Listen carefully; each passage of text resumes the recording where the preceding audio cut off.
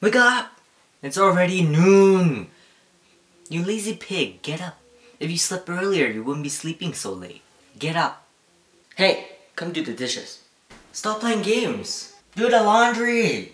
Go study or something. Hey, cook dinner. Time for dinner. Come down to eat. Hey, come clean the toilet. Why are you always eating chips? That's so unhealthy. All you do is watch movies and eat. You eat so much, you're so fat. Go exercise or something.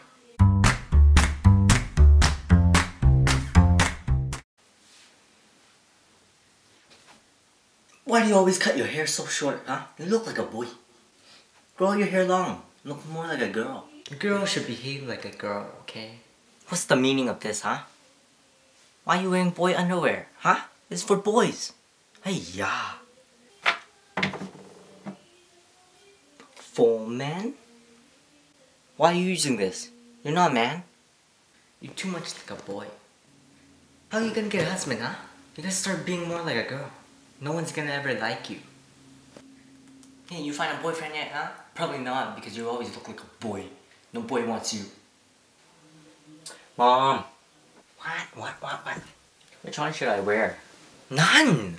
Buy a dress. Stop wearing those things. You look like a man. Never mind. I didn't ask you.